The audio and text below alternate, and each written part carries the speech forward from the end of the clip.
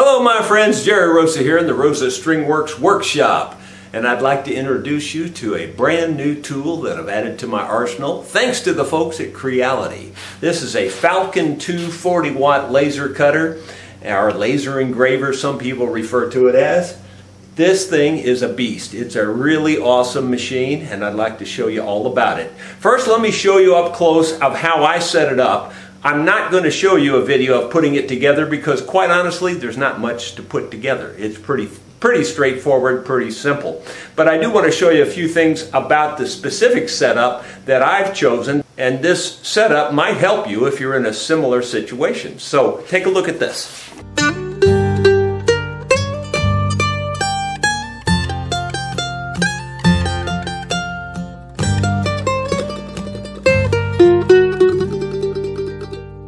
First off, I recommend getting the enclosure because that will uh, entrap all the smoke. And yes, of course, there is smoke. Whenever you're cutting something uh, with a laser, it's going to smoke. So, like, especially like wood. And you can see over here how I've ducted it out.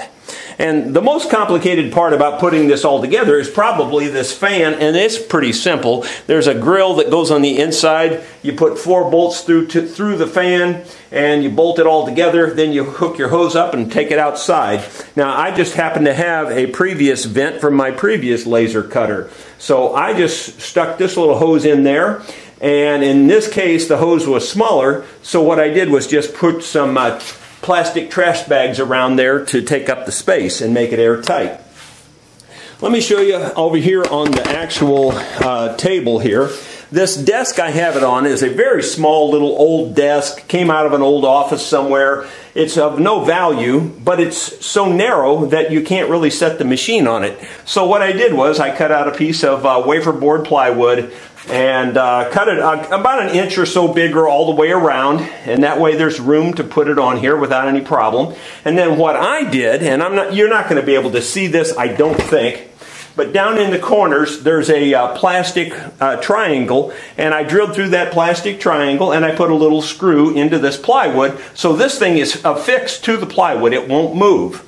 And I think that's a good thing because this, this cover is actually very light. And it does tend to want to move around but if you screw it into your plywood like this then it can't move the base is still movable. I can move the base if I need to. Let's move over here and I'll show you a couple other things that I recommend that you might think about. I put a power strip right there and then that way I can plug in both items because you need a uh, fan plug-in and you need a plug-in for the machine itself. That way I can turn on one switch and turn on the whole machine and everything's on and I always know it's on. I don't have to think, well, did I turn on the fan? Did I turn on the other thing?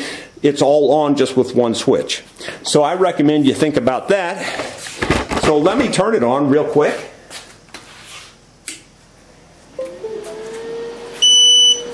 And you can see it does make some noise. And it automatically goes home when you turn it on. Let me show you another little trick I'm doing. See the washers in the corners? I recommend you put these washers in there on the corner of your material and the reason is once you cut through, the part that you're cutting will drop just slightly and that way you know it's been cut all the way through. Because with a laser cutter, often you don't know did it cut all the way through the material or not.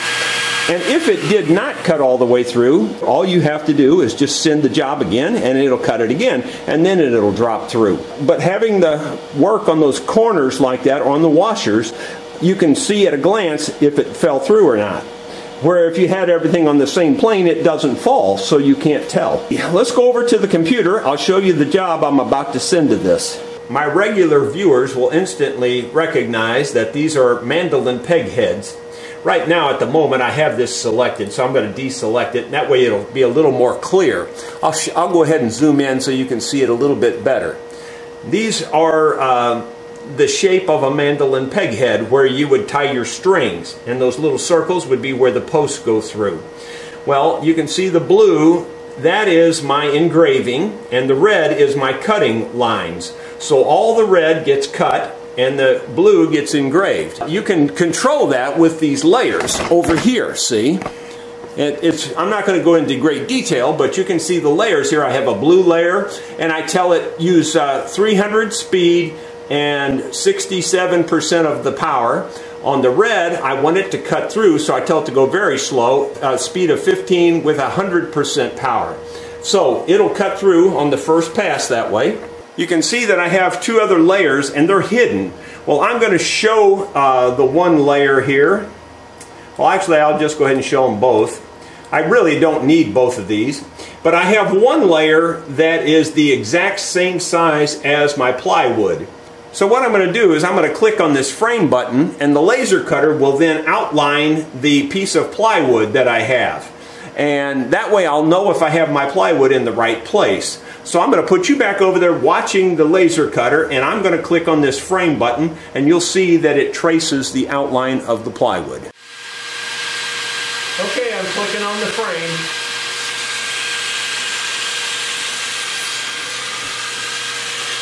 And as you can see, it's tracing the very outer edge of the plywood. That way I know I have everything lined up perfectly so I can start the cut. Now we'll get that cut started and let you watch that.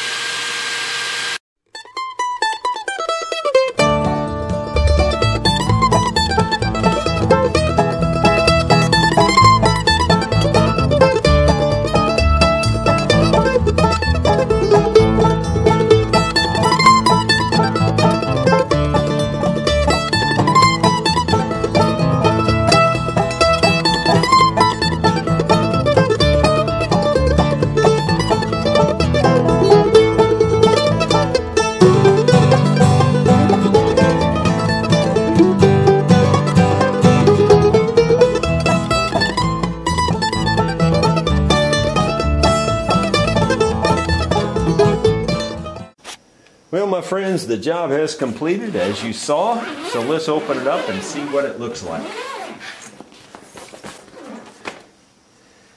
Um, most of it's fallen through. I would assume that the ones that don't fall through are going to fall out fairly easy. So I'm going to go for it. I hope I don't make a mistake here. Oh yeah, they fell. Look at that. Perfect. In fact, that's just like awesome right there. Can't beat that with a stick. Love it. Perfect cut through. And then that means that the holes should have cut through also, and you can see there they did. And they, the etch was dark. Uh, that's good. I, I wanted the etch a little darker than it had been, so I, I actually bumped this up to 75 just before I sent the job. So traveling at 370 and then 75 power. You did a nice job etching this time. And you can see how precise these things are. Every single one of them will uh, you know, line up perfectly and all the holes will line up. You can see directly straight through it. I don't know if you can see it on camera, but I can see through it. And it's perfect. So it just does a wonderful job. It's just a great machine. Now I'll show you what I do with these things. So after I cut out all these parts, what do I do with them? I put them in a little base like that and they become desk art or, you know, shelf art.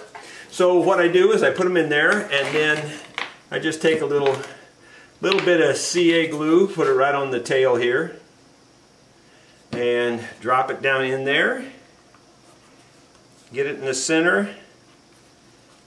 Make by eye, you know. And then I just spritz it with a little bit of accelerator to make it set up quick. And if I want a little added insurance, I could just put a drop right here on the back and do the very same thing. And then it's in there permanently affixed.